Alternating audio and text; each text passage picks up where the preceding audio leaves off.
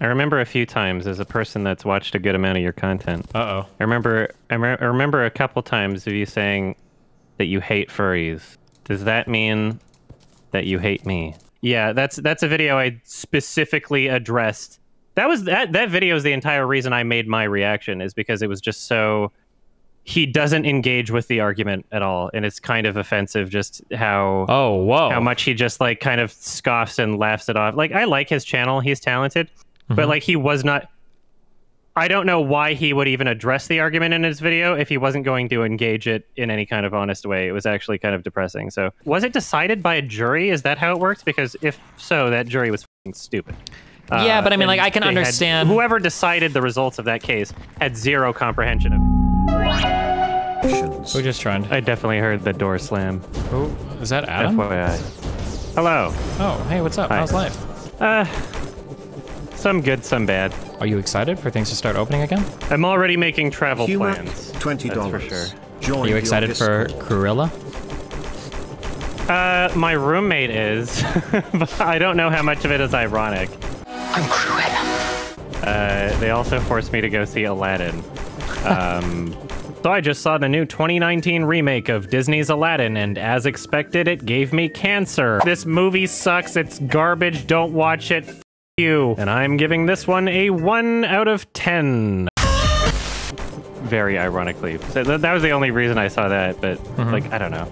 It's a, it looks really dumb. I'm I'm not excited, but I guess I'm going to see it because of my roommate. So Okay.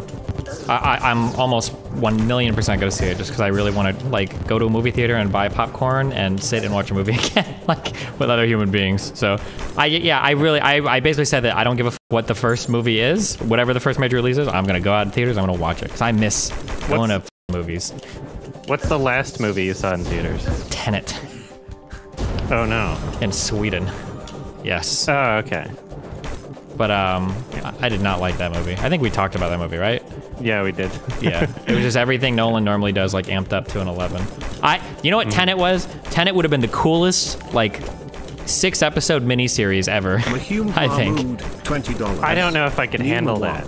Well, like more time Just to like, it longer. well, like more I time to like I would want more of it. actually flesh out the ideas and the world, and maybe so like everything doesn't have to be crazy exposition. But like, I feel like I don't know.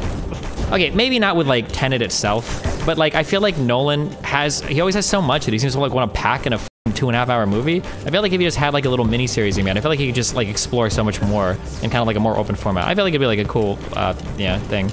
And then I also think that like I, assuming there's something under the surface that's that's there, right? But like, I don't know if there was for Tenant. Ten, Tenet. Oh, never mind. You know? I understand. Okay, so we're I think we see the same thing, but we are making two different assumptions. So I'm I'm looking at Yeah. Nolan stuff, and I'm hoping that there's just like he's got a really fleshed out, complicated underneath thing, but he just can't explore all of that in a movie. But you think it's just there's nothing there, and it's just like him like being really pretentious and full of himself. I think the more you try to explain Tenet, the more it falls apart. Yeah, absolutely, of course, for that movie, yeah. I just, um, yeah, I think uh, I think we've seen like some pretty cool like uh, mini series lately. Um, I hope that trend continues. Like, it seems like there's a lot of like really good examples. Chernobyl was really good. Everybody liked that. Um, yeah, I don't know. I, I enjoyed it. I think that's a, decent. a nice format. Wasn't wasn't blown away by it or anything. Eh, It was okay. All right, chill. Listen, we all needed something to to hold on to after we all came spinning out of the Game of Thrones timeline. Okay. Yeah. And Chernobyl's where most of us landed. All right. Hmm. I started watching a, a show called High Maintenance, which is like a kind of lesser known HBO show that has four seasons. And it's like every single episode is kind of its own contained story. And sometimes for like, I don't know, maybe a couple minutes, maybe longer, uh, there is one consistent character in um, throughout the series, and it's the weed dealer. And so it's basically just each episode is exploring these like very personal, private lives of these people that buy weed from the, I guess you could call him the main character, who is also like the writer and show creator. Um, and uh, yeah, it's super, super good. And like some of the, some of the jokes didn't hit that well in the first episode. There was one where I was like, eh, but like I don't know. It's I love the concept and I love how many different ideas and stories and genuine characters it explores. It's, it feels very real and human. Would definitely recommend to anybody listening. Gotcha. Okay. Um, I'm are just you? starting to get into some other HBO shows. um, how is this like a newer one or? It's, cur- I think it's still going, and it started in 2016. Um, Gotcha. And So it has pretty four new. seasons. Yeah. And then there's um, How to with John Wilson, uh, produced by Nathan Fielder, is also a really great HBO show. Do you know uh, Nathan for you? Um, yes, I watched. I think I've, s- I've seen most of the episodes, but yeah. Oh, somebody somebody wants us to talk about Invincible. Oh, I haven't watched any I'm of it looking at the YouTube chat. Oh, okay. Have you Have you watched? Do you think it's good? Yeah, I watched all of it. I, I did enjoy it. It uh, I was a little disappointed with season two of The Boys, and this, although very different, Uh huh. um, I feel kind of satisfied that like adult superhero series, like mature thing for me. You know, there was like a hole that was left from The Boys, not not being as good as I was hoping. And also the fact that it's animated allows it to be a bit more creative, I guess, and not look as stupid. Yeah. you know, Yeah, because it's really hard to like. I don't know how to explain it, but you can have like a low budget looking cartoon that, and I, I'm just assuming because I've only seen like cl- I've only really seen like memes of the Invincible thing, but it looks like something that could have been animated out of the '90s, right? It's not like I think it's trying to emulate that style, like the Yeah. Saturday morning cartoon thing, right? but you couldn't really do like a, um, you couldn't really do like a. What's the name of the actor? He's in Family Guy all the time, or at least they emulate him, the old Batman guy. Adam West. Yeah, Adam West. You couldn't do like an Adam West Batman callback superhero thing because it just it just wouldn't. You couldn't do anything serious with that. It would be like comical, right? I wonder. I bet it's possible. Do you really think so? I think I you know, whenever I think of something that would be difficult to do in film or art, I consider that to be like an interesting challenge, and I think of how it might be possible. Like, who would who would head head the project, and what decisions would they make? I think anything's possible. Yeah, it's um, possible. It would be difficult, art, but, but- yeah. Yeah, it would just have to be. There would have to be a lot of thought put into it. Something that I feel like there could be a market for is like taking like old shit from our childhood and like redoing it in a very mature way. Feels like that. I, I don't know. I don't know how marketable it would be, but I, I feel like there are people that would watch stuff like that. I'm, I'm sure. You- that's kind of what Disney's pretending to do with their remakes, right? No, I mean like adult, adult, not like for like, Like, an older. good. Well, I shouldn't even say good. I'm really just saying violent. Um, I'm sure you've seen Yeah. this. Have you seen like that the Power Rangers short film or whatever on YouTube? Uh, no. I guess I'll see what the hell this is about. It's like Just search Power Rangers short film, um, or is it called something? you can probably look for like Unauthorized bootleg. Un- oh, yeah. I think I might have actually seen this. I don't know how much I did. I, I feel like just okay, yeah. yeah. I feel like there's a market for like redoing like a Power Rangers movie where there's like a reboot kind of thing, or they're like ten years into the future, tw- or no, it'd be like thirty years in the future or something. But like it's like rated R. I feel like that. I- would uh, just be really interesting to watch. I don't know. I would I would love taking a children's property and making it like incredibly explicit, but Mm-hmm. more ironically. Like if you had like Alvin and the Chipmunks, but it was like GTA Five story or something. Sure. Like yeah. I don't know. Like that could be dumb. that that could be funny. Mm-hmm. Um, I don't know. Yeah, I, th- I, th- I think yeah, Uh, but then there's also the other part where it's like maybe we should stop rebooting everything a million times. But I don't know. Yeah, I think uh, I would like to see more original properties, but people don't watch them, so they don't get made. yeah, or they don't watch them as much, I guess. I don't know how much you keep up with like gamer world stuff, but um, it's funny because like the Oh, yeah. The same problems literally propagate every medium. Um, where like in the film world, you know, people are like, I don't, you know, why does anyone make anything new? They always keep making the same dumb shit. And and even I'll say, I used to say that, but then when you like, if you Wikipedia the movie and then you scroll down and you look at like box office, it's like, oh, well, it's very obvious why they do it. It's because all of you motherfuckers watch it. And it's the same thing in the gaming world too. You know, like. Um, uh, the people Ubisoft will come out with like another Assassin's Creed or whatever, or another Modern Warfare, another Call of Duty game. And people are like, why do Yeah. they keep remaking the same fucking game? And it's like, well, because you guys buy it every single fucking Yeah. time. What do you mean? It's Like, your fault. yeah. the consumer's fault.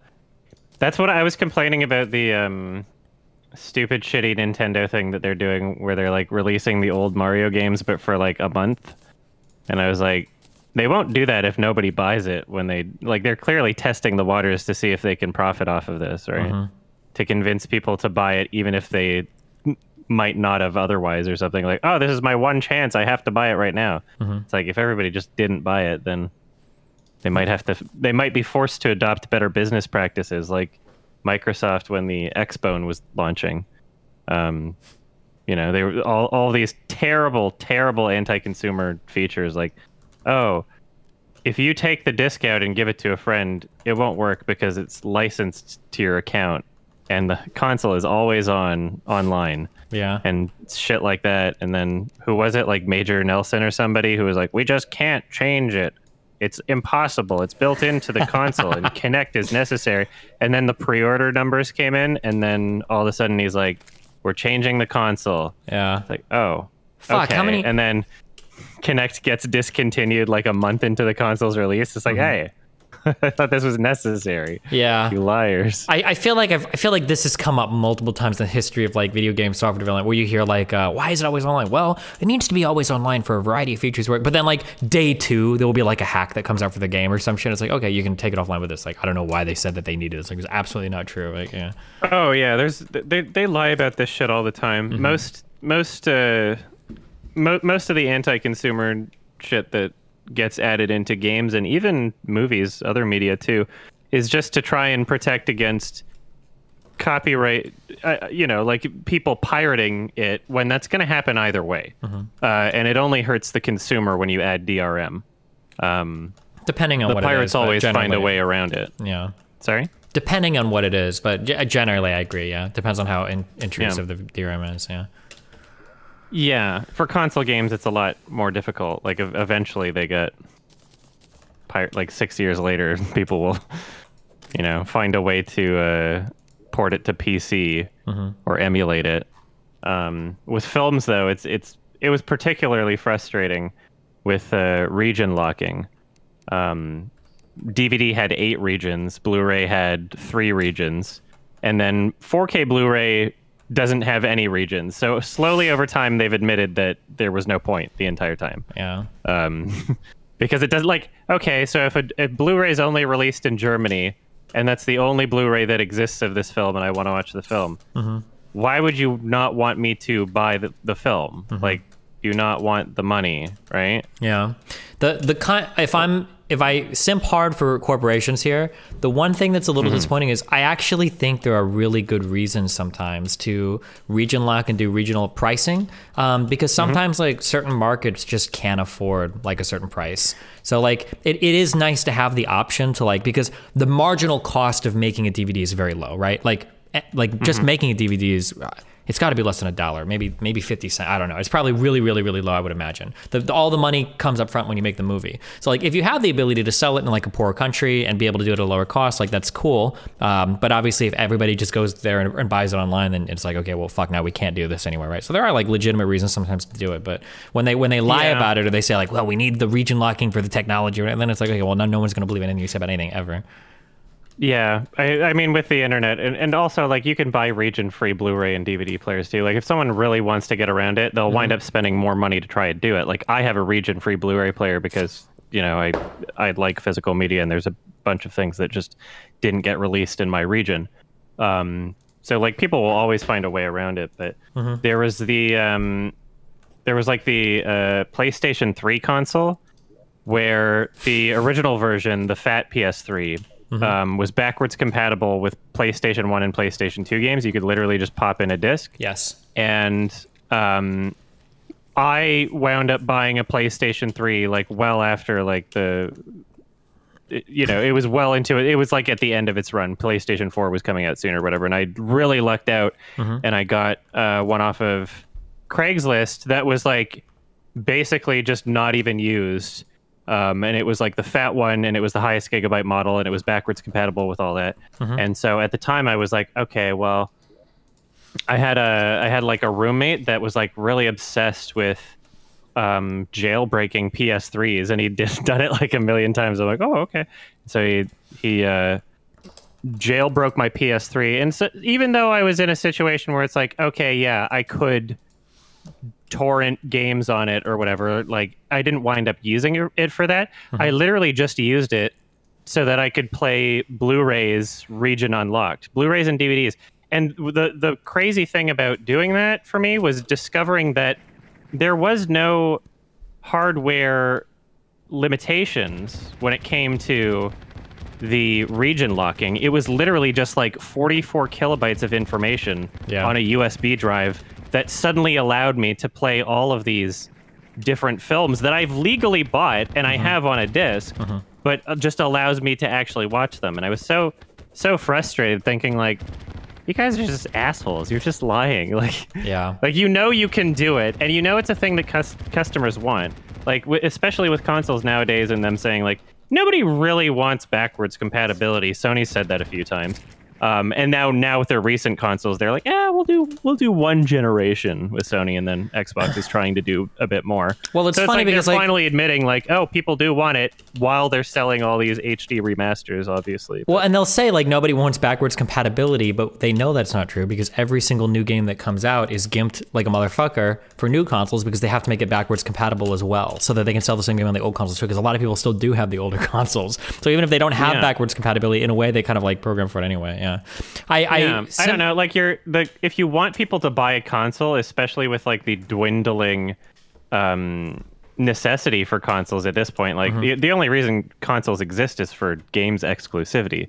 So if you really want people to buy your console, and I guess Microsoft clued in that they don't have a lot of exclusives, so they have to do something, is you got to make it really consumer friendly. And one of the ways to do that is to like actually care about making your games backwards compatible. You know, like, oh, if I can have one console, like chances are the person buying the new Xbox might have a few old Xbox games, mm-hmm. right? It would be it, it's worth a purchase to just be able to have everything in one console, and it looks nicer. Yeah, I, I can sympathize a little bit with console manufacturers because they have to. They're up against like so much weird stuff. Like for instance, we have mm-hmm. kind of these in our brains. We have these price points that we think that like games should cost and what consoles should cost, and like overriding some of these dollar limitations is very hard. Like I could be wrong, but I want to say didn't the N64 debut at like three hundred or three hundred fifty dollars? And the PS2, I think, was like Oh, I I have no idea. Mm-hmm. That was a little. I, I oh. I didn't have consoles when I was that young. Gotcha. Yeah, that they they came out for like around that cost, and I'm pretty sure like adjusted for inflation, that's got to be like six or seven hundred bucks. It's got to be like way, way, way more expensive. Yeah, the Yeah, PS3 was like 800 on on launch for because they had just in, introduced Blu-ray as like a concept. oh, because a lot of people were buying because for a long time the PS3 was the cheapest. Um, it was the cheapest Blu-ray player. Like you could just Yeah, like a Blu-ray player was like a thousand dollars. yeah. So Which yeah, was really so- smart on Sony's part. That's why they won the war against HD DVD. Actually, sure.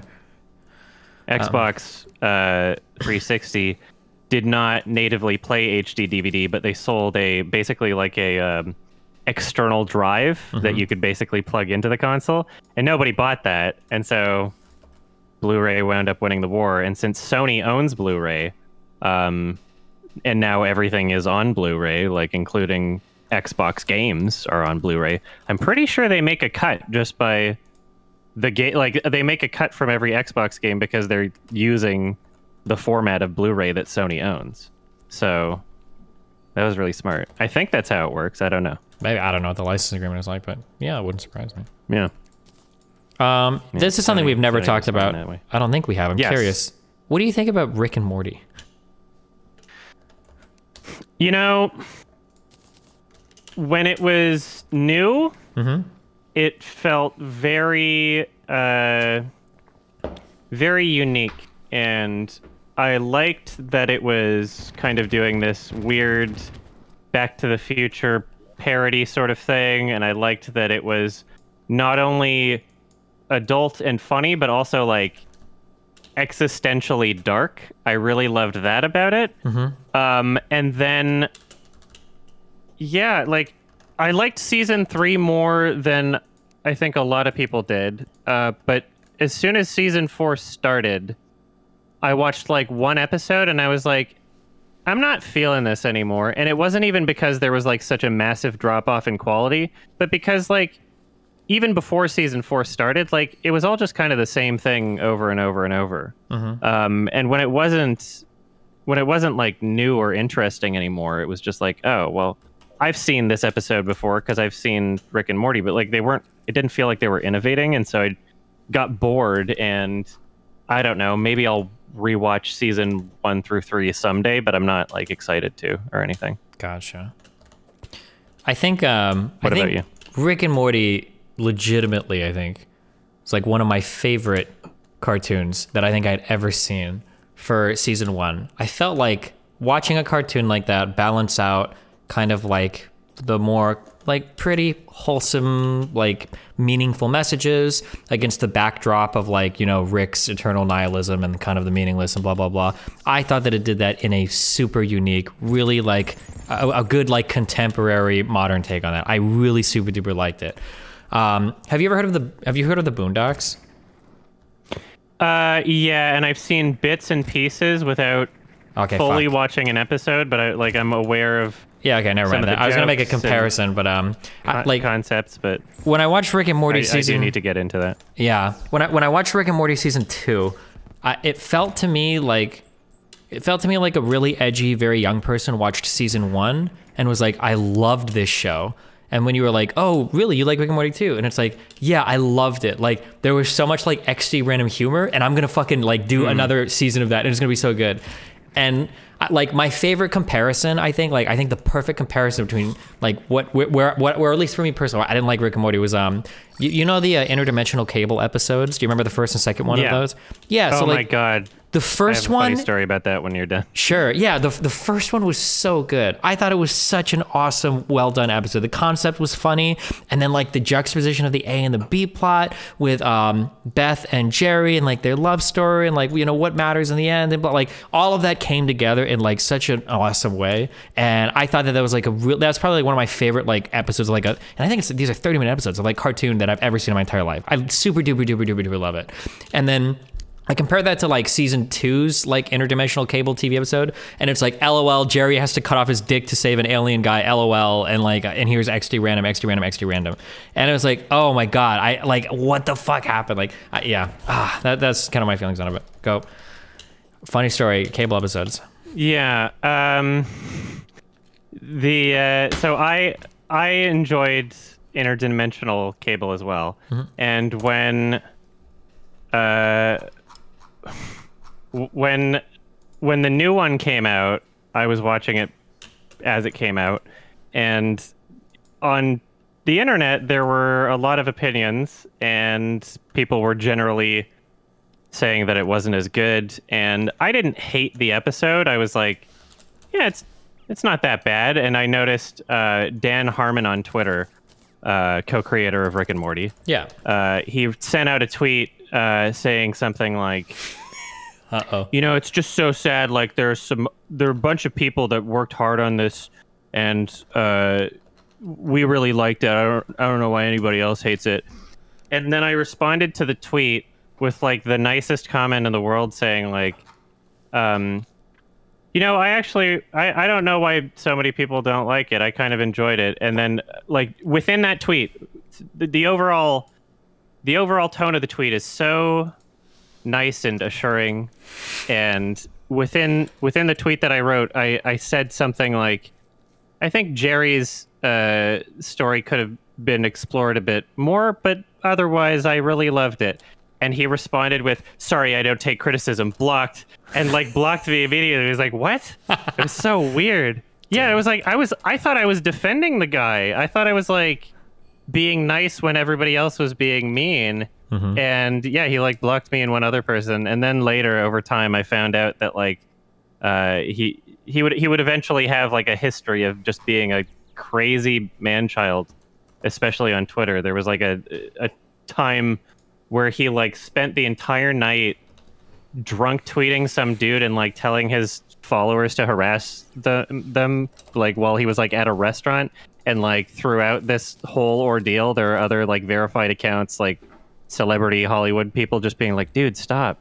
Like what are you doing? Just like he spent the whole night like being like everybody bully this guy. It was like so weird but yeah he does that. It's just i he makes he has good content but holy crap he has some issues. Yeah.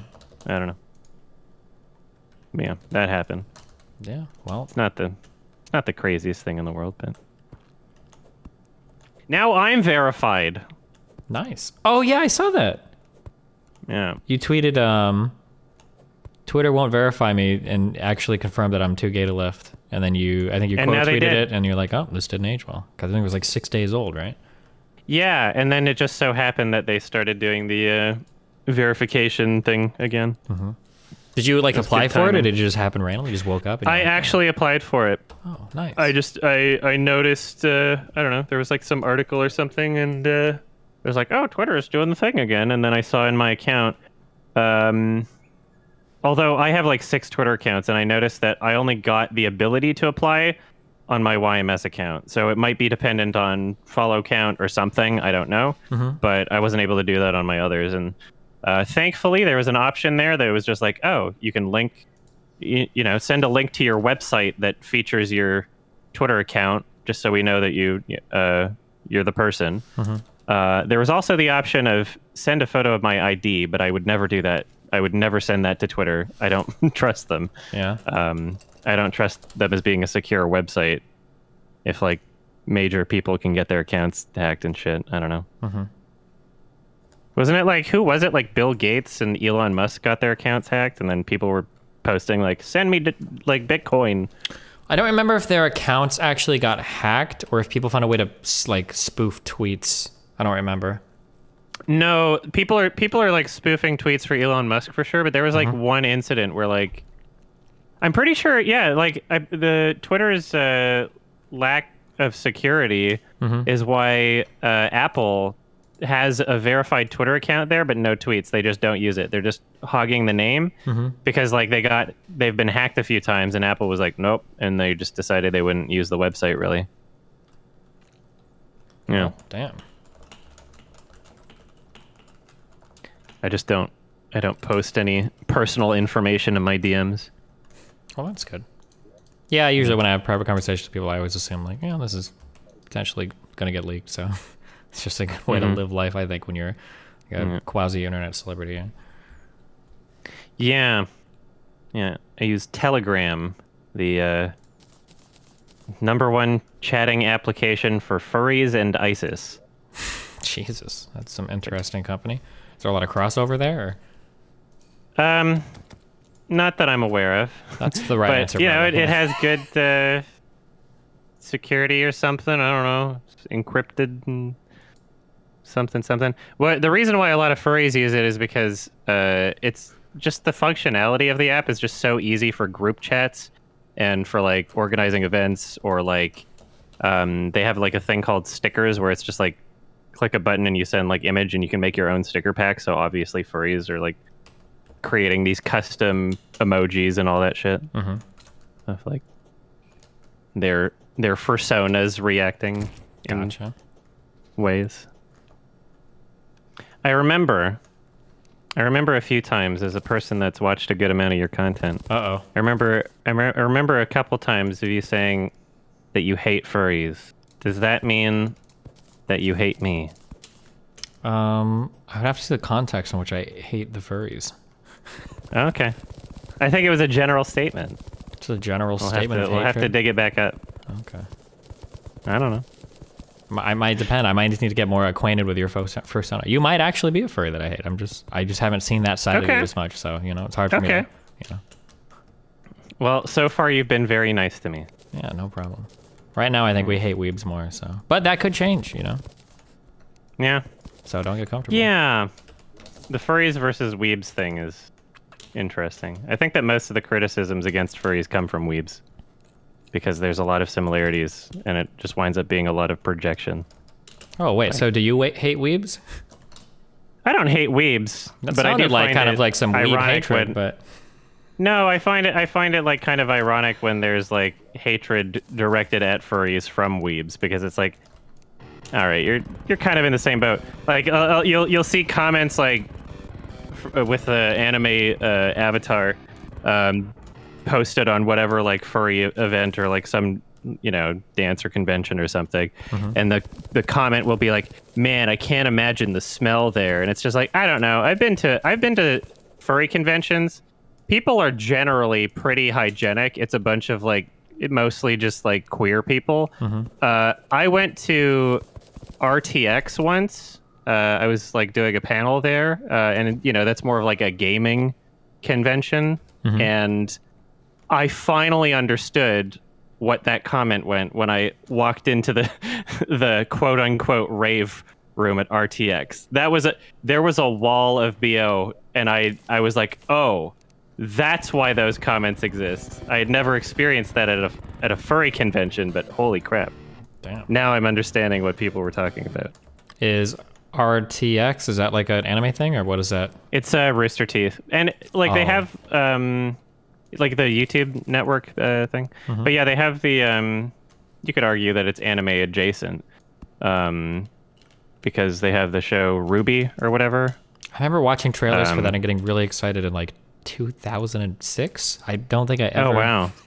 Yeah, because back the, back in the day, the only if the only understanding I have of Rooster Teeth is that they were the guys that did Red vs Blue, and I think back then Yeah, I don't even think I don't think I don't think it was on YouTube then. I don't remember if we torrented episodes. I don't remember the first episodes of Red vs Blue if you had to download them, but um they had their website, and you had to download the uh, individual episodes, uh, and there were just like Windows Media Player file Yeah. files or whatever. Mm-hmm.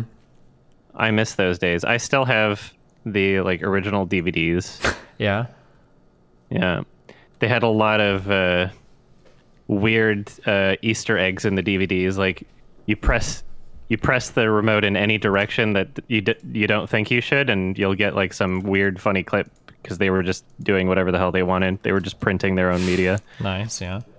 Yeah, I'll, I'll always respect uh, Red versus Blue because I think it uh, marked like a very important moment in terms of like internet media, of like an actual series that, you know, although a lot of it was just jokes, there was actually like a Some structure and- continuing narrative. Yeah. Yeah. Like, I don't know. Like, I loved that shit so much. Like, I don't know if I would love it the same now, but mm-hmm. I was, I watched the first 10 seasons at least. Mm-hmm. And what I found to be very kind of crazy about it was like in season 10, they kind of. They, they almost kind of like retcon everything and that happens in season one, but it also makes sense.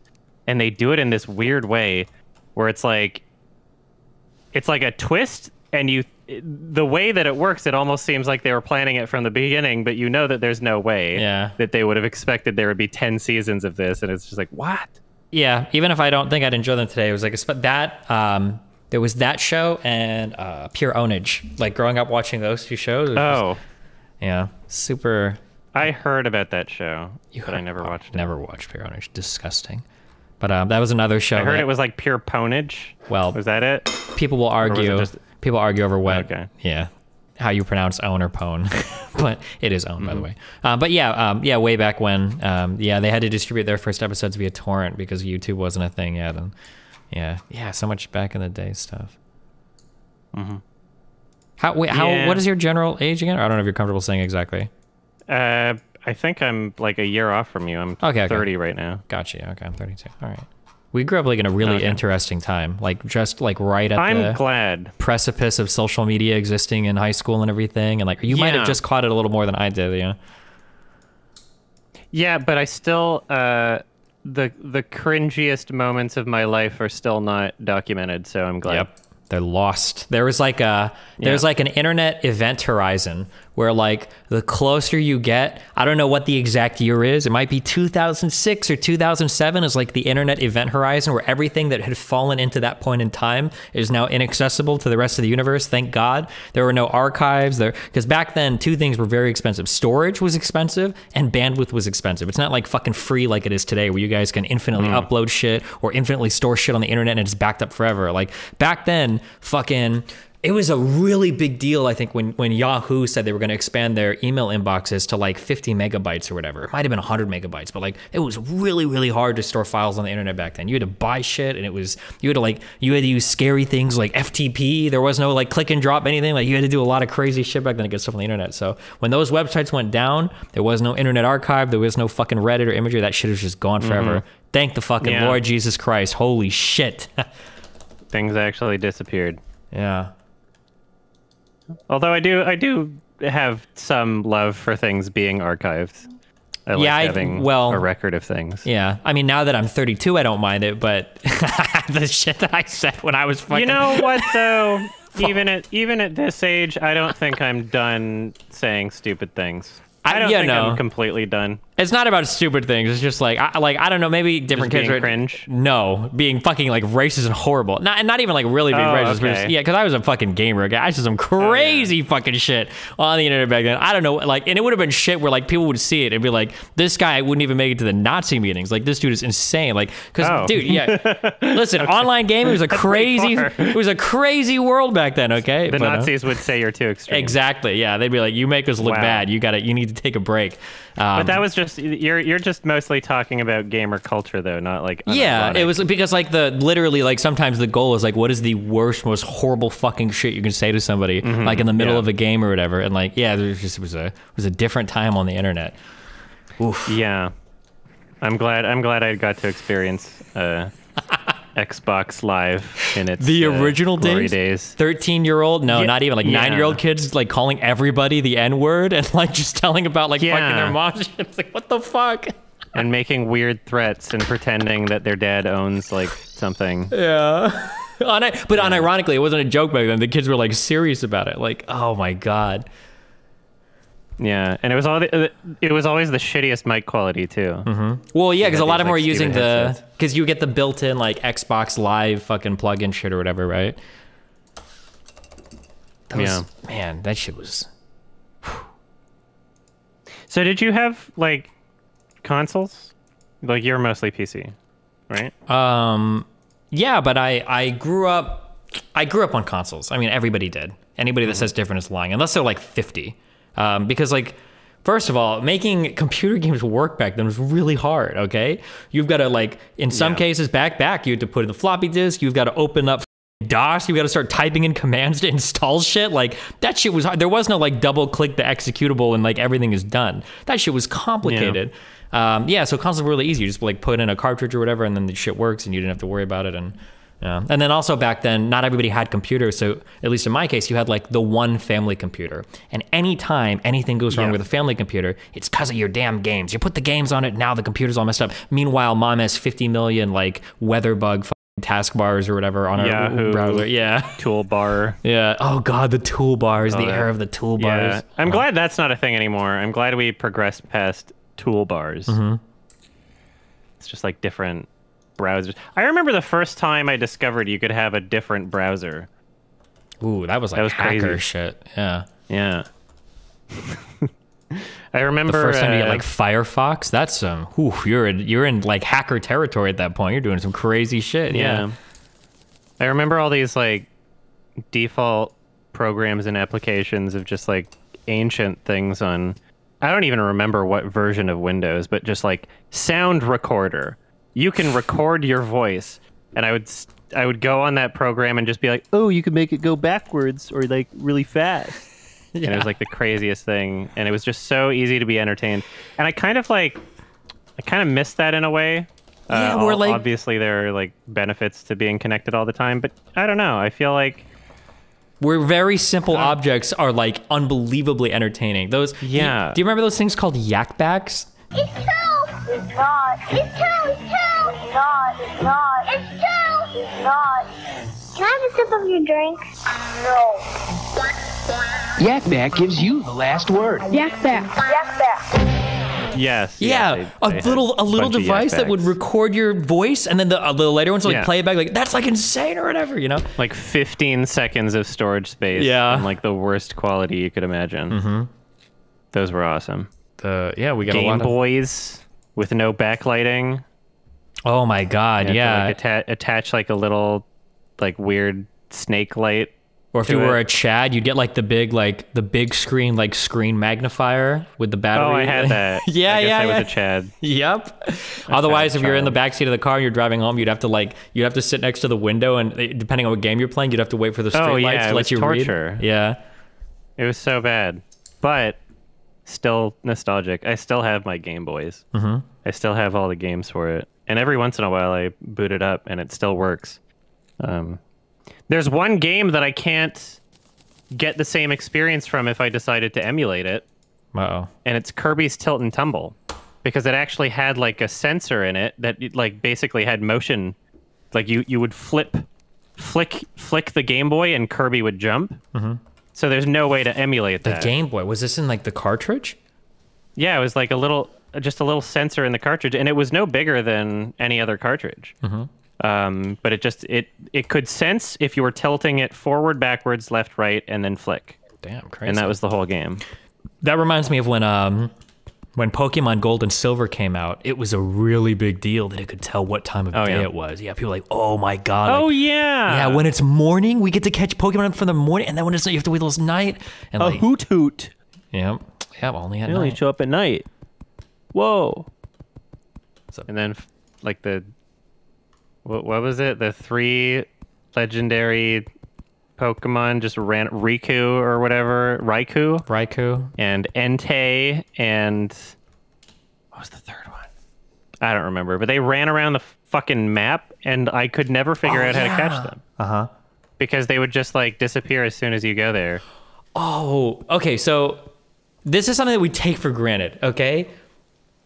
You can look up, and this is actually something that frustrates me. When I watch like people debating on the internet, because I do politics, one thing that infinitely frustrates me is when people will argue about like just an objective fact that you could just like Google it. Like, people- like people are like, well, when did this start, or blah blah blah, and then people will argue for like thirty minutes. Like, just oh Google yeah, it and look it up, right? Exactly what you mean. Yeah, back in our day, you couldn't. You had to pull out the fucking Encyclopedia Britannica, okay? Otherwise, you were going on like Yahoo or Ask Jeeves. Like there, the information, there was no Wikipedia back then, okay? Information was not archived well. However, one really cool thing, one old like artifact of that era was game rumors.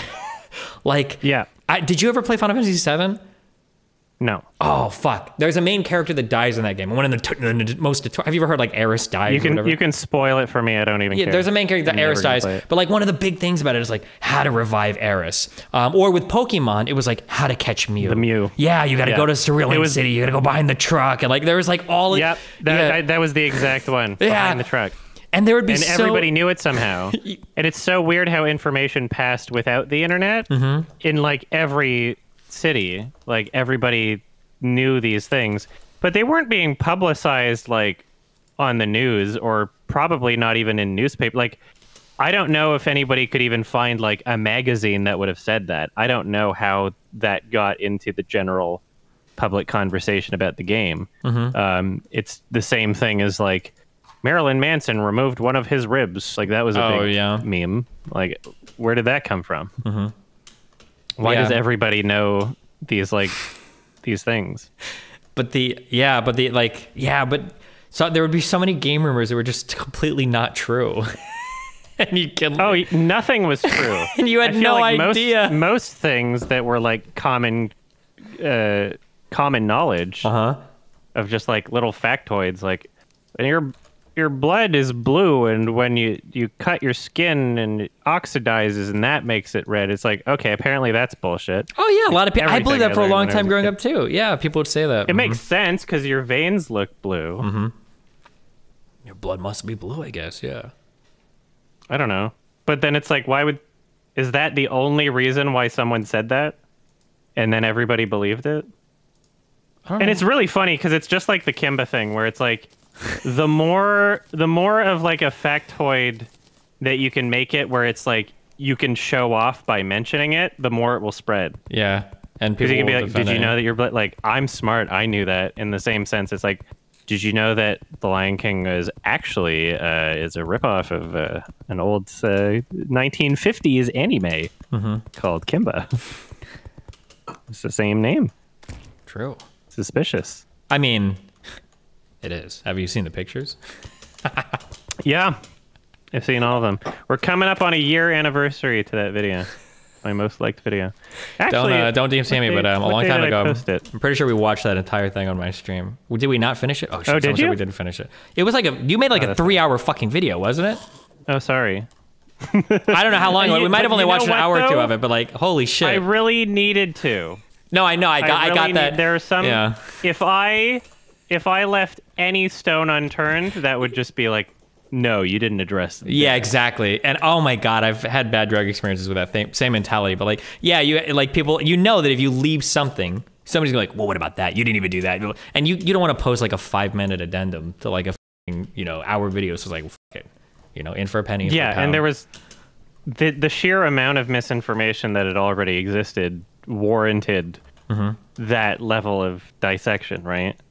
Where it's like, none of you have watched this show.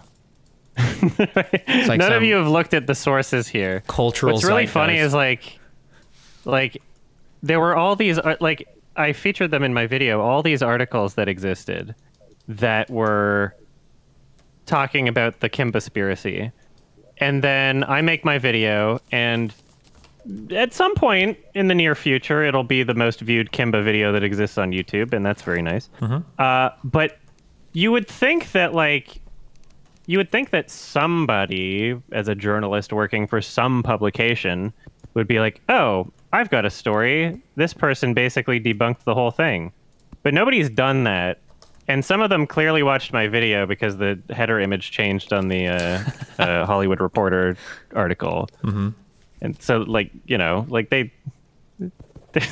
I don't know because maybe then at that point, if they're working for the same publication, then it it would imply like, oh, you got this wrong, and that makes the publication look worse. What's also kind of frustrating is around the time that I released the video, um, there was kind of like a little uh, a little war on, happening on the Wikipedia page for the controversy, uh, and people were citing my video, and then you know these top tier Wikipedia editors would be like, a YouTube video is not a real source. This is an opinion piece, and then you know people would kind of try to edit back in a way where it's like, okay, they're taking some of the points from my video, but ones that like, you know, I had the sources here and blah blah blah blah blah.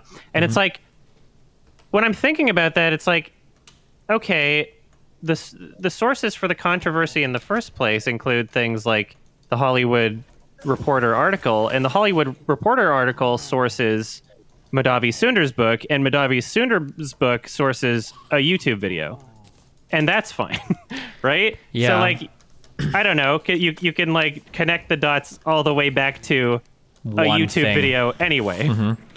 One right? thing that um, so it seems like unfair. something that is very interesting to me, and it's just it's stuff that I've learned as I've done more research online, is um, so when it comes to so obviously my my realm is more like political debate and everything. When it comes to like academic stuff, if you were to think of like a if you were to think of like um you know like a, a, a what seems like a complicated subject like immigration or minimum wage or like rent control or whatever, right?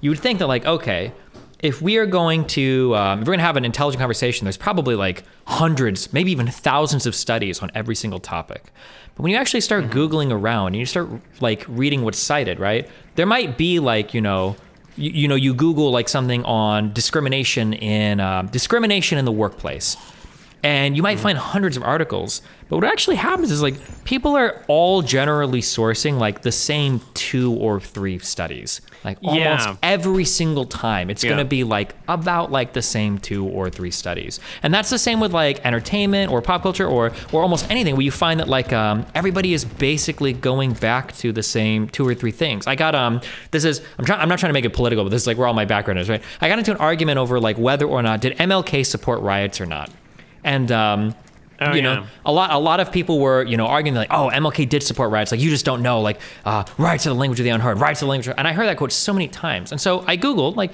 did MLK support riots? And you know, I got like four or five different articles. One from Jacobin, I think one from Vox, a couple where it's like, you know, in the in the later part of his life, MLK did support riots, and all of them were citing the exact same speech. And it was funny because when I went back and I actually just looked up, like MLK speeches were meant to be understood by the common person. These aren't academic. You can go back and read it. And when you read it, he unequivocally did not support riots, even at the end of his life. It was very obvious when you read the whole speech. And I was like, it blew my mind when I read this. And then I started Googling back like all the articles. And then when I would read them, it's like, okay, I understand what part of the speech you're saying, but like, why didn't you read like the next paragraph? Like, or why didn't you go on like a little bit further? Like, uh, and it was crazy to me that every single one because I because then I went looking for more information or data. But like every time I would stumble on a new article, it would all sort, it would all cite the exact same speech, and I'm like, this is fucking crazy. Um, And it was I hate to say this because I'm so lazy. Um, I don't remember who gave me this piece of advice, but somebody had said like, if you want to be like really smart on the internet, what you really got to do is you just have to read a book or go to a library because on the internet a lot of the resources are just recycled and reused. And if you go to a library and read a book, you're gonna get like new information because on the internet everybody talks using like the same two sources. And man, that seems to be really true. Jeez. Yeah, I don't know. I have a. Uh, I I generally am untrustworthy of people and you know sources in general. Like I feel like I have to look things up on my own, and so that's why like there's a lot of uh, there's a lot of conversations where like there's very few topics that I feel very confident speaking about. There's a lot of things that I have opinions on, but I don't feel like I'm actually informed enough to be able to argue a position on. You know, Sure. And I fe- I feel like the the the most confident that I am at positions are ones where they're more to do with myself than some sort of other objective historical concept or political concept. Sure. Or it's like, okay, well if we're if we're talking about something like ethical and it's a subject that I've actually put thought into, then I can speak with some confidence about it because it's more about myself and I know myself. It's more about me than it is about, you know, something academic. Um, and then obviously, I don't know, media is the other one. Just depends on the piece of media. I, sure. I can speak pretty confidently about Kimba. For sure. Yeah. Yeah. I was the only one that watched the anime. I, I mean, it That's all like it. anyone had to do. That's what's so crazy about the conspiracy is because it lasted 25 years. Mm-hmm. And all anyone had to do was watch an anime. Right? Because Yeah. you would notice that it's not like the same. Like it, you, step one is noticing that it's not a movie and it's actually like 10 movies and a TV show like Mm-hmm. that lasted like it's 3000 minutes worth of shit. It's like wow. Ah, that's that's the only information that anyone would need to know to start peeling away at like how Mm-hmm. The dishonest that it was, but it it propagated for so long. I truly do believe, and you might, this might be the same for you. I really do feel like I remember reading the Kimba thing in either like a fact book or magazine when I was like, I want to say like 12 or 13 years old. It is Like, pre-internet. uh, yeah, it's like it is actually that old. Yeah. It was a thing like from the release of The Lion King. Mm-hmm. Um, Tezuka had already died at that point, but uh, it originated with like some Japanese animators uh, saw the film and uh, like wrote some public letter or something. There were like a few of them, but like Mm-hmm. I don't know, like again, you know, if anybody who's watched my video to the end would know this. Like Tezuka's family was never on board with that, right? Yeah. Um, like his company, his family, like they they were all like, yeah. Uh, if there was inspiration, he would have been flattered. And uh, regardless, there's you know these are wildly different properties. Yeah. But just somehow it's like I don't know, like they were just like a bunch of really angry and virtuous people that decided to speak on his behalf and create these arguments where they were using him and his family who were never on board with the controversy but using them as like part of their argument being like They're they stole from these people and he's they're these poor little japanese artists. They they they got broke and died or something. I don't Mm-hmm. know. It's like this weird emotional appeal that Something that might be, I don't know if you've ever bizarre. spent any time on this, but I'm almost positive. I don't know why I have this memory, but I'm almost positive that the exact same book or magazine that I read this factoid out of, I feel like right next to it was a factoid about um, J.K. Rowling copying the Harry Potter story from something else, like another boy that had a scar, things- blah blah blah blah blah. I don't know if you've ever heard of this one, but maybe that could be like your next project. Or I don't know if anybody knows what I'm talking about. I swear to f- God, I've, like- I've read this same thing too.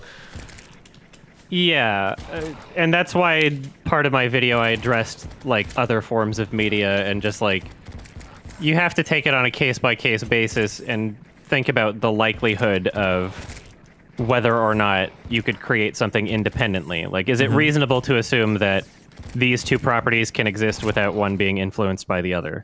Um, and then, you know, if, if the framework is it's an animated lion movie, then it's like, okay, well, yeah, Yeah. then it makes sense that this would probably blah, blah, blah, blah, Yeah, blah. people simultaneously develop Um, calculus. Like we you probably have dogging animals teaching Yeah. life lessons. Like yeah, Yeah, there's um, there's another uh, copyright controversy. I don't know if you're familiar. It's uh, composer Yoko Kanno. oh Yoko, Kan- yeah, Cowboy Bebop Yeah. is what I know her most for. But Wolf's Rain, she's done a ton of Yeah. stuff. Have yeah. you heard about the controversy at all? The No. copyright one. Is it like that she No? ripped somebody Okay. off, or she thinks somebody ripped her off, or what? You know what? Um, Uh-oh. and I, I hope you I hope you believe that I have actually given thought about this before saying this, but I believe that she did.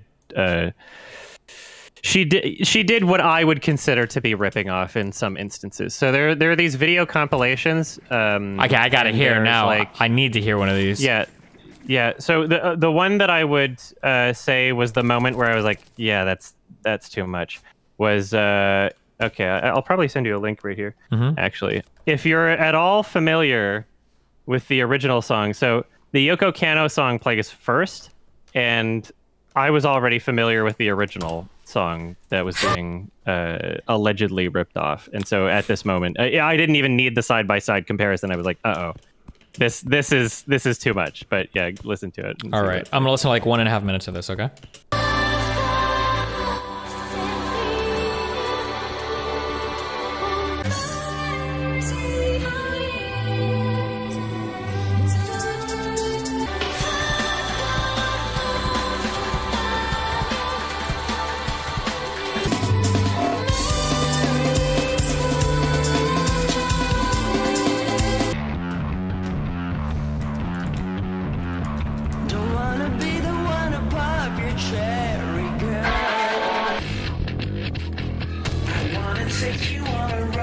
Coaster. At the very least, is like very, very, very, very, very heavy template going on. Yeah. yeah see if you're working in the composition industry for films or tv shows you're not necessarily just creating songs uh, that you feel you know come to you and you're inspired. You're like you're not necessarily writing music for the explicit purpose of like expressing something from yourself.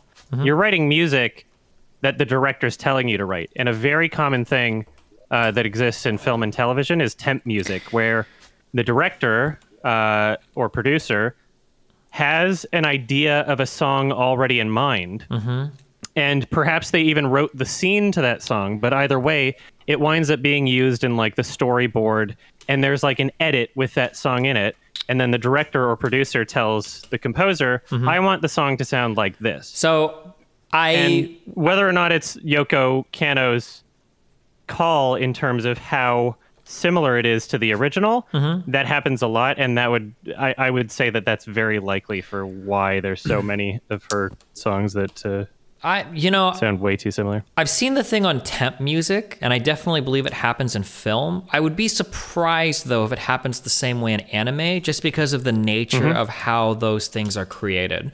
Um, so, like for instance, when you do uh, when you do a movie. Um, I'm explaining this, but I'm more asking because you're going to know more about this than me. Um, my guess is that at the very least, at the very least, you shot like four times as much footage, if not more, for a particular movie you do. So you've got like a lot of stuff to kind of like edit around.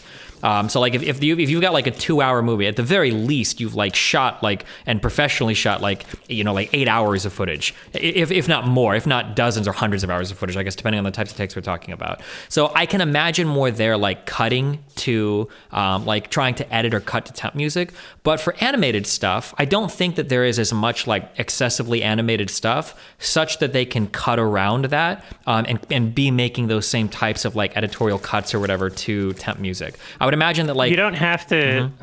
uh, it, it's not dependent on the amount of footage you have really because like what they're cutting to they're literally just dragging a song into the timeline and a Mm-hmm. the songs incorporation if let's say they're using temp music could have been incorporated as early as like the screenwriting process like they could have written the scene around that song's existence Mm-hmm. and even if they didn't that doesn't, you know you can still plop a song in there and be like this works um, not necessarily everything needs to be like timed to a specific degree, right? Sure, not yeah. everything. It doesn't need to be like a Looney Tunes cartoon where there's like an orchestra playing as the yeah. Um, yeah, it, like when you're using temp music, you're more or less representing a tone. Mm-hmm. And if the director or producer really like the tone of something that they know exists, uh, then they can be like, "Oh, I want it to sound like this," and they use this. You, you know, they, it doesn't necessarily even have to like be edited into it before uh, before Yoko Kanno gets told to make a song like that. They could literally just send her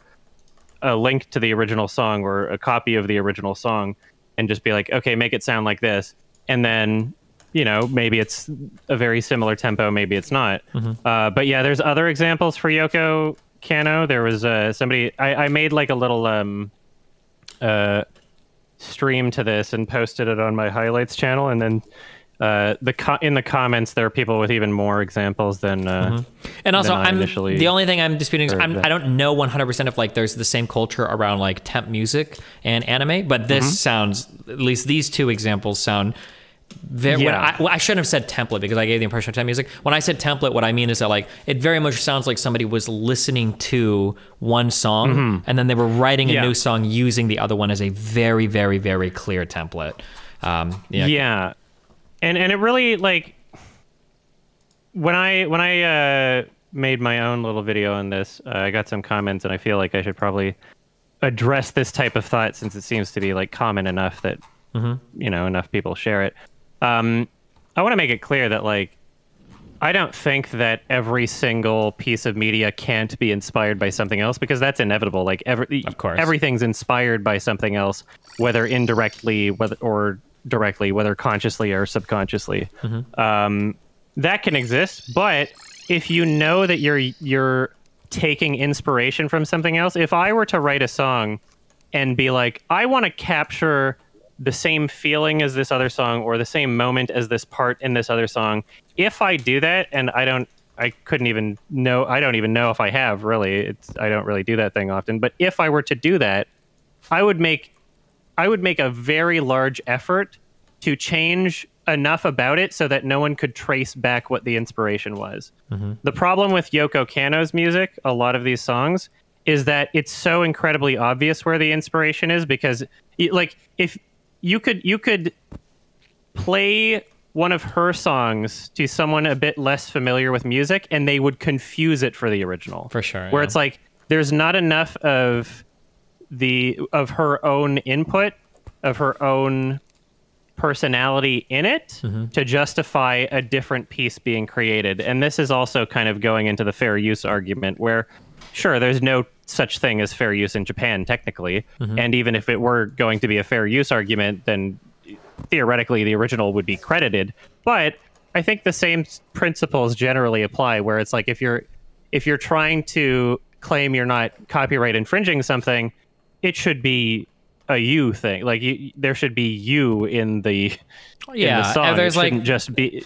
You know, only it should justify its own existence. Yeah, and there's only so much when we're talking musically that you can copy and it's like okay, you know, like ripping off like a motif, like a little melodic idea or something is, you know, th- these are I say ripping off, but I mean like if it's done well, you you would you, technically you call it a musical quotation, right? Like there there are things like this that you can do for sure.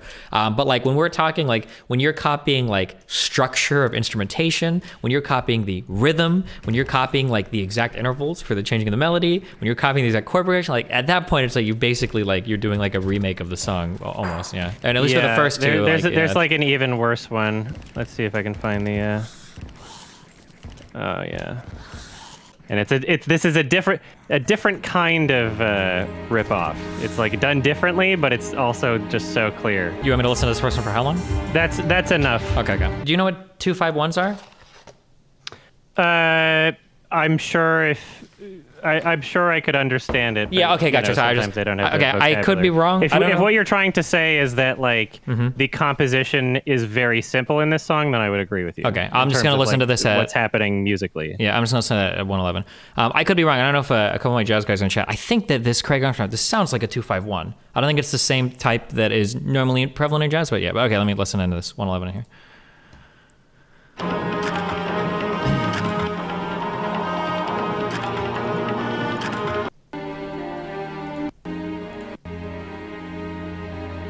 I mean, this is very, very, very, very, very similar for sure. Um, Mm-hmm. The only thing, the only reason I would let this slide, there's like a very, very, very, very, very common, like Mm-hmm. jazzy, like these.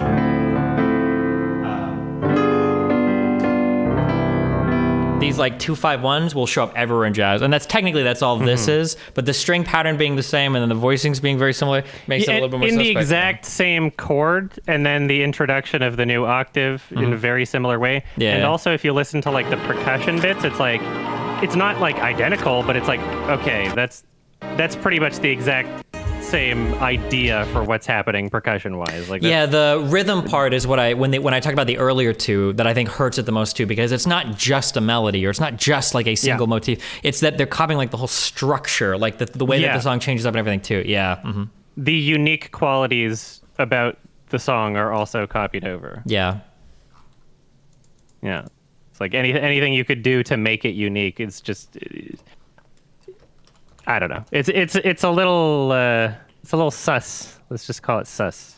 and then especially if you get like a history of doing this stuff, it's gonna be Yeah. aren't you more? Yeah, I mean, what really helped me to uh come to become comfortable saying that I would consider her to be somewhat of a plagiarist is that I didn't I was not aware of this controversy. um, and I watched a film called called Judas and the Black Messiah, and I had I had listened to a lot of Yoko Kanno's music. I like the Wolf Rain sound Wolf's Rain soundtrack. There's a lot of great music from that. Um, and then I watched Judas Judas and the Black Messiah, and uh, most of the score for the film was great. Also, it was it's a really great movie overall. I, I would recommend it. Um, but musically, mostly just really cool, interesting, unique stuff going on. And then there's one moment, uh, not just one moment. There's there's actually two uh, instances of this same song being used. I was like, this sounds this sounds exactly like one of these songs from Wolf's Rain. And then I stopped the movie because I was watching it at home because pandemic. And um, I went to YouTube and I looked up uh, the old song that I remembered from the Wolf's Rain soundtrack. I'm like, wow, it's not just like, it's not just the piano intro, but it's even like the section going into the strings. And I was like, what the hell? And I thought that Judas and the Black Messiah had Copied ripped off off. Yoko Kanno, and I made a video saying like, this song, I love the music in this video, but I, this there's too many unique qualities about this particular song in the soundtrack that are identical to Yoko Kanno's song, and you know, maybe a little bit autistically and unnecessarily went uh, into too much detail about it. But, you know, I, I like to, if I'm going to make a claim like that, I want to justify it. And then all of a sudden, um, I come to find out after the fact uh, that that was the one song in the soundtrack that actually wasn't written by the two composers that scored the film. Oh, it came from and it was actually a song that had existed in the 1970s by uh, Bill Evans. And Ooh. I li- and I was like, oh, this Bill Evans song. So that came first. I was like, oh, so I guess if somebody ripped off the other song, then Yoko Kanno would have had to have done it because Wolf's Rain is like 2005. Bill Evans is the 1970s. And then I, after that, I figure that out, and then it's like, oh, wait, actually, there's a lot of instances of people claiming that she's ripped off other songs. And if you go through like the whole um, compilation video that I linked, most of them I would say fall under uh, having enough unique qualities away from the original that I wouldn't even care. I would say the vast majority of instances that people have cataloged of her supposed alleged plagiarism are ones where it's like it's not similar enough that I would even care. But because of that one instance that I had, I guess, discovered with the wrong uh, conclusion initially, uh, because of that, and then those two other examples I showed you, I was like, those ones are just far too unique, and they, they don't justify their existence enough. Like this, it, it convinced me at that point because I was like, okay, you know, I didn't buy into like some meme that other people sold me. Like this is something that I felt independently of that. Something that um I've always wondered yeah. then that, that this would be the place to look next, but it's really hard if you don't have the background, and I I don't. Um, but like uh, in in my opinion, um, did you watch Cowboy Bebop? Uh, not a lot of it, no. There are there are there are and I I might just be wrong. There are people that know more about jazz than me. Feel free to step up. But so somebody went to school for saxophone, played a lot of big band and jazz music, and then transcribed some solos, listened to some bebop, which I fucking hated. The writing for a lot of the Cowboy Bebop songs, these are really good pieces. Like Tank, Yeah, I've heard the music. Rush. Like these are lines like um just if I were to look at like and you know and I you know I could be wrong but like if I were to listen to the intro just this one line this just one intro line from Cowboy Bebop this. So, somebody with like that's like a no offense but that just like writes music for anime being able to churn out songs like this is very very very impressive that you- Oh yeah, yeah I'm not denying that she's talented at well all. Well, no well That hold is- on that that's is not that's yeah, that's like- not what I'm saying what I'm wondering is Okay, yeah. is now I wonder if these were lifted from older like bebop or big band pieces that I just don't know about. That's what I'm curious about. Um, Yeah, it's unfortunate Uh-huh. that like if somebody has that kind of uh, controversy, then you have to kind of be skeptical about anything that they put out, right? Because I've always wondered because So because like it's unfortunate. yeah because like that's like that's really really really mature writing for somebody that just does like enemies like oh well I'm gonna make something jazzy lol because like I can imagine like what somebody would do. Like there's like a million like little blues things you could do if you wanted to write like cute jazz stuff, but like I feel like the writing for the bebop soundtrack is like very very very mm-hmm. mature. It's very well done, but like Yeah. yeah I don't know. Yeah, and I love the Wolf's Rain soundtrack also, even though now I, you know, now almost all the songs I associate to like Bill Evans, but Uh-huh. still, I like even just the choices of having that kind of tone and sound and emotions in used in the right way in the right scenes. You know, that's something to appreciate. It doesn't ruin the the overall product, I guess. Um, and you know, like I said earlier, it's entirely possible that it's not her idea that she's just work you know she's composing what the show creators want to hear. So we don't know how much of this lifted inspiration or temp music allegedly right? We don't know how much of that is her doing it or just the people wanting something to sound like that. Maybe maybe there As were bits usual, of inspiration used for pieces of temp music and she, she created something that um, that was unique enough that it didn't feel like uh, it was ripping it off and then the show creators said no you got to make it, it it doesn't sound like i want it to i want it to sound more like that and then maybe she had to alter it until it sounded way too similar also i saw that link you just opened uh, Somebody just synced that chat. I'll face? just yeah. jazz pianist. Yeah, that's that's a video I specifically addressed. That was that that video is the entire reason I made my reaction is because it was just so he doesn't engage with the argument at all and it's kind of offensive just how Oh whoa! how much he just like kind of scoffs and laughs it off. Like I like his channel, he's talented, but like he was not I don't know why he would even address the argument in his video if he wasn't going to engage it in any kind of honest way. It was actually kind of depressing. So, uh, yeah, if anybody took his video seriously, then uh, please watch mine because I I go over what he says. Wait, so what uh, does he piece say? I hope that the sentiment of the soundtrack He is essentially- and widely held belief, but that's he uh, he categorizes uh, anybody who thinks that Yoko, that Yoko Kanno plagiarizes music. He says that they're just people who want to pretend that they're smart by saying that they knew of the earlier thing first, and then he says that uh, everything is inspired by everything, which is something that I kind of agree with. You know, whether consciously or subconsciously, you know, like everything comes from something else before it. Uh, but he kind of just uses that as like a, a cure-all. Like does, doesn't he doesn't engage with the argument. He doesn't go over any specific examples. He just pretends as though he's looked into it thoroughly. Okay. Uh, but if you listen to the actual words that he says, he says things like, "I I." I was upset to discover that people were saying that she rips like. Can you give me like two minutes to just like one, right? times two? I just I now really want to hear what he says. Can Oh you, please, yeah. Okay. It, he doesn't address it at the beginning. Uh, Mm-hmm. you have to go into. It's like almost halfway through the video. You'll find it. Okay, let me Um, just. I'm just gonna. I'm just gonna boom forward real quick. Let me just listen. Go for it. It's I'm just gonna- like, I'll but go this thing that deep. I found Okay, came take before, I knew about this before. I'm cool because I knew about something that apparently came before. It's stupid. It's just dumb. This video was made possible by Skillshare. Stay tuned to find out how you can take my brand new course as part of a free trial. Hey everybody, my name is Charles, and today we are looking at the soundtrack to Cowboy Bebop. Now, anime is a world that I don't know much about, to be honest. I, I've never really gotten into it uh, for no particular reason other than I just, I don't know, I just haven't. But a lot of my friends, a lot of you guys have told me about some of the incredible music, and I've heard some of the incredible music that comes from that world. And so I figured, why don't we take a look at some, and I'll just kind of give my immediate reactions. Maybe we talk a little bit about some of the breakdown of it, how it's constructed, and maybe some of the influences that exist within it. And one of the number one recommendations I've gotten from you guys and from a bunch of my friends is the soundtrack to Cowboy Bebop, written, as I'm sure you guys know, by Yoko Kanno, who in the process of making this video, I- I've learned a ton about, and I'm pretty blown away. And we'll talk more about that in just a few minutes. First, let's jump into this and let's take a listen to the soundtrack to Cowboy Bebop. The first thing we're gonna listen to is, of course, Tank.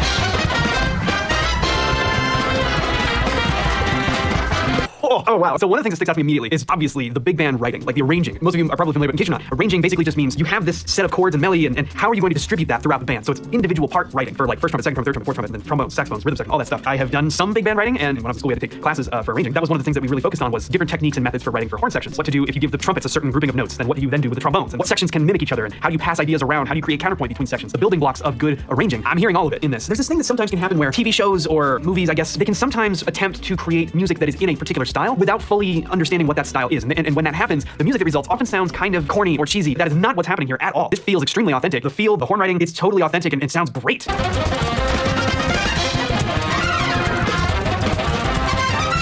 the trumpet section, especially like the, the lead, they're not nailing the parts. You know, I feel like there's like a there's a charm to that almost. It's real. It's a live take. It's it's gritty. I kind of dig that actually. The fact that it's not perfect. There there sometimes can be even with great bands. I mean, what would be an example? Maybe uh, Wait, really? Damn, I've looked at these scores. Um, I don't know if there are any trumpet players um, in chat. They play these parts. These are really, really, really high partials for trumpet players. Um, fuck, I'm not gonna be able to. I'm not gonna be able to find. I don't know if anybody like.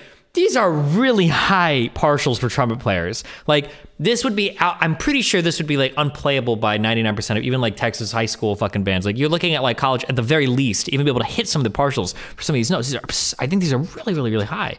Um, I, feel like most people that play this are, are playing at a very high level. This this must be like a professional group, like studio musicians playing this. I, I I don't know what he meant by that comment. I'm being like really autistic or something. I don't know, but Um, I don't know if some of you are familiar with like the Gordon Goodwin Big Phat Band. You want to talk about perfection, right? Like everything is just all the parts are nailed, and the production is quality is extremely high. As great as that band is, sometimes I feel like kind of takes away from the grittiness of, of the big band sound. That's obviously up to interpretation, but I feel like here the sort of grittiness and the realness and, and the very evidently live take. There's something cool about the imperfection. I kind of dig it. Little bit about kind of what's happening here, the form, form-wise. This is a 12-bar blues. A lot of you may have picked up on that immediately, but it definitely is not just obviously a 12-bar blues because some of the the, the da-da, da-da, da-da, da-da, some of those harmonic movements that are going on there are not purely indicative of the blues and might, might throw you for a loop if you're not really listening for it. So that is what's happening here. It is a 12-bar blues.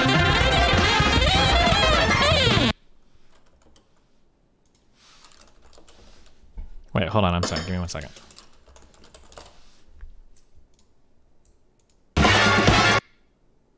Oh no, he's right. Okay, sorry. I was just understanding.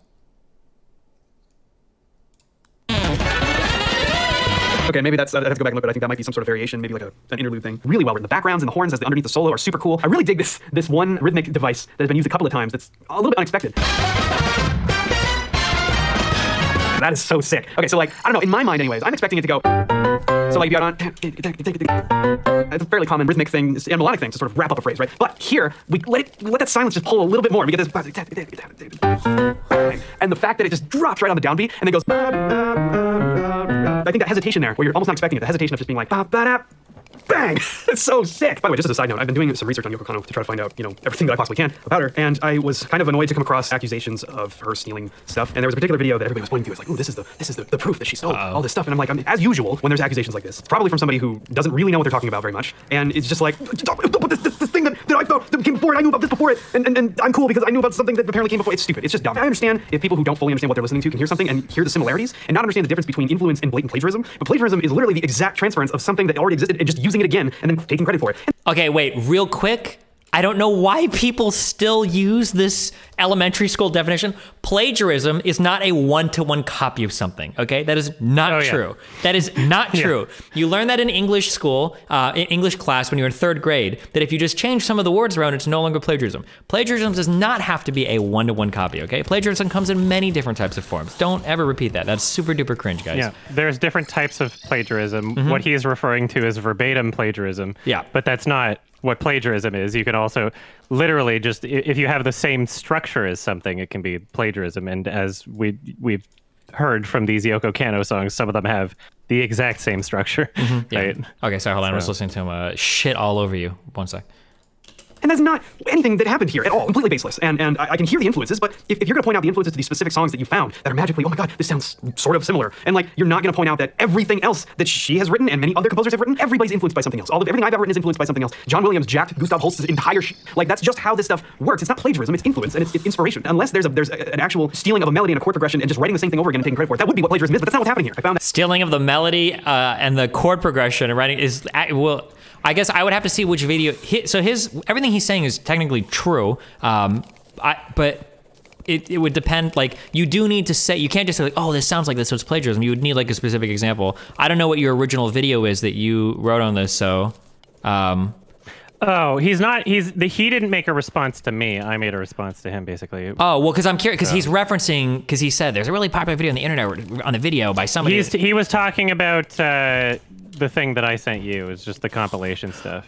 Oh, Um, okay, yeah. so, that compilation yeah. stuff demands more of an explanation than just what he's saying. Um, just what he's saying would, would apply if there's like a section that sort of sounds like something else, but it's like a different rhythm and maybe a few different intervals. But like what like the stuff that was linked earlier was like a, a lot more compelling than that. I think it would demand a little bit more of an explanation than what he's giving right now. It's pretty clear that he didn't Listen to listen anything. to a whole lot of it, and if maybe if if he did, then he might have listened to it a bit passively. Because I like, again, he opens up his conversation saying, "I was disappointed to hear that people were accusing her." Like, okay, right off the bat, you've kind of admitted like you have a perspective before you even, you know, you, you're not going into this like too charitably, you know. Yeah, I mean, like, to, uh, I can be a little sympathetic towards him, especially Yeah. because music copyright is oftentimes very f- cancerous. Oh yeah.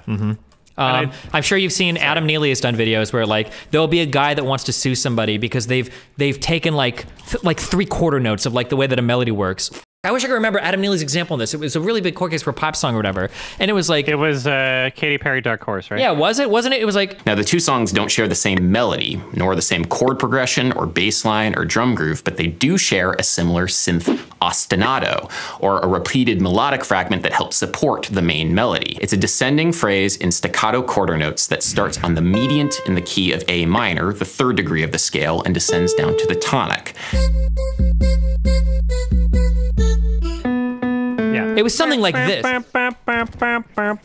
Yeah, something like that. And I found somebody that to be wanted bullshit, too. Yeah, and like Yeah. that's so if if he's coming at it from that perspective, which is honest to God what I generally assume when people are like, oh, we copied it. Like Yeah. I could be sympathetic towards that. But if you're gonna like call that out in a video and you're putting like your reputation as a musician or whatever on the line, I would expect you to be a little bit familiar with what you're critiquing first, right? Like Yeah, yeah, and, and also like, there's unfortunately, you know, I make my video, and then some people are like, Adam, but if the world functioned uh, the way you wanted it to, then uh, people wouldn't be able to write songs because they would just be accidentally uh, ripping people off. It's like I'm sure that does happen. And in the Katy Perry Dark Horse situation, that was just complete bullshit. Yes. No, that shouldn't. That shouldn't have won. And was it decided by a jury? Is that how it works? Because if so, that jury was fing Yeah, but I mean, like, I can they had- understand- whoever decided the results of that case had zero comprehension of how music actually works. Yeah, right? exactly, but I would so I just want to expect be clear that I don't. I, I don't think that a lot of these major cases are legitimate, uh, Mm-hmm. regardless of their ruling.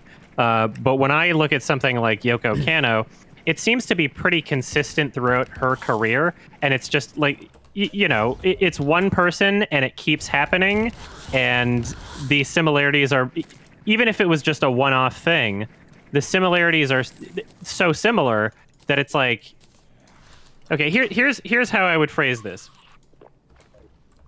There are many songs that exist where you can point out inspiration uh, for for what inspired it right? Um, you could you could point to john lennon's imagine for a lot of songs that it ex- existed after it. The problem with yoko kanno's inspiration is that her songs are the most similar out of every other songs that exist multiple times. You cannot find a single song that is more similar to uh, that Matrix one, "Take You on a Roller Coaster," than Yoko Kanno's song. Sure. Right? I would- I would challenge someone to find a song that is more similar than hers.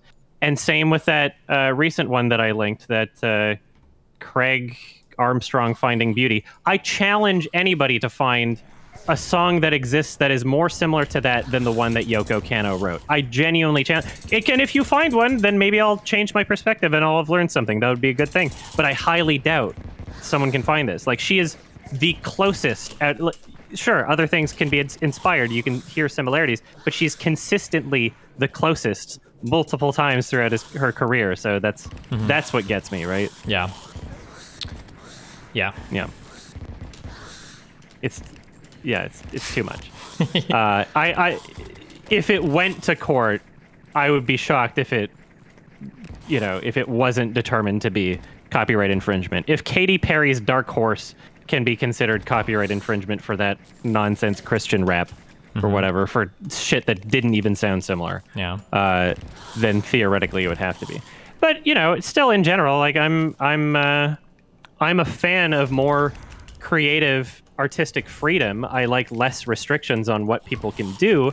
However, I think that ethically as an artist, if you are taking inspiration from something else, you should be honest about it at the very least. I like the idea of people being able to sample music. Yes. I think that Death Grips' ex-military um, created something new out of old things. They're not allowed to sell it legally. Uh, there was no actual case. They probably got some legal threats and decided that they would pull it from all the streaming platforms, right? So they don't sell it. It's still available. You can download it for free. They're just not selling it. Um, but yeah, I would, I would, I, I think that that's an album where, like, yeah, I, sure, you you can you can pinpoint exactly what they sampled, but they created something so wildly different that it's like really like they should just be able to do it. Like it's Yeah, their sure. own thing. You just That's there's the got to be like some kind of Kanno. yeah. There's got to be some kind of credit there, right? Yeah. Mm-hmm. Credit and then a conscious effort to make it your own thing. Mm-hmm. Otherwise, what are you doing? Yeah. Yeah, Really? for sure. Are you gonna keep watching that thing? Um, yeah, I'll watch a little bit more and see what else he says about it.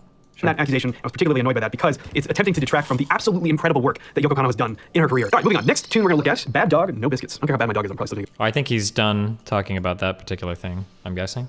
Oh, okay. Cool. Yeah, it's crazy. Mm-hmm. Because, uh, believe it or not, I do think that copyright infringement can happen, or let's just say ripping off, because it's not. It's not ever really determined to be copyright infringement until it's determined in court, and even then, it's like I don't know how much of it is just public opinion, right? Yeah, and I wouldn't expect a jury to understand anyway, right? Yeah, it's really unfortunate. Like when you start explaining to people that like, oh my god, like every song uses the same four chords, like people will think like, oh my god, like every song is just copied from each other, not realizing that like Yeah. just chords that doesn't really mean anything. Like you- like that's that's nothing about, about a song, right? Yeah. Exactly. Yeah, you can't copyright a chord progression. You can't copyright a drum beat, right? There are certain things that are just like if it would set such a negative precedent that literally people wouldn't be able to write music anymore. Yeah, exactly. Right? Mhm. So yeah, in, in general I I I would say that there should be a lot less restriction, but ethically for Yoko Kanno, I'd, I would prefer if the original artists were credited at least. Yeah. Mm-hmm. Well, damn. Anything else uh, exciting? You know what? horizon? Yeah. I'm just yeah, I'm excited to be not cooped up in my house. Um, I enjoyed this chat. I needed it. I've been kind of uh, going stir crazy, just watching things on the couch all the time, and I just kind of, you know, hopping in people's streams now, just looking for some good chats. Yeah. Because, uh, well, I got tendonitis, and so um, I had to like stop my editing for the past month and a half and just watch shit instead. Because it's like, oh, I can still work, just not do that part of the work. Jeez, are you I like have to watch clicking a ton and to shit for the them. editing stuff?